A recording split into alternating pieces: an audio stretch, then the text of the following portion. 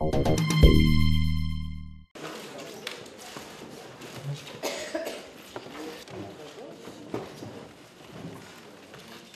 a vu depuis l'épisode de Toulouse se développer euh, des cas groupés, des épisodes de cas groupés, principalement euh, dans des écoles.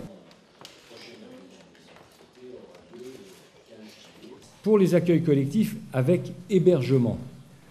en cas de présence d'un cas confirmé, le mineur malade euh, doit être naturellement isolé, ce qui fait qu'il faut prévoir en réalité dans ces accueils, dans ces colonies, une pièce qui puisse permettre d'accueillir soit une pièce ou un bâtiment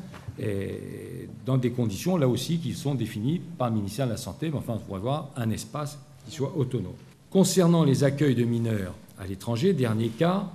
les organisateurs devront signaler aux représentations diplomatiques et consulaires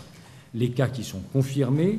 et en informant naturellement aussi, je le rappelle pour qu'il n'y ait pas d'ambiguïté, mais encore une fois ça va de soi à mon avis, mais enfin ils en informeront parallèlement les parents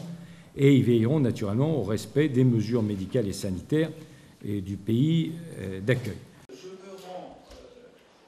Nous surveillons euh, avec beaucoup, beaucoup de soin ce qui se passe dans l'hémisphère sud, puisque nous allons avoir en quelque sorte une évolution en vrai en préfiguration avec ce qui se passe dans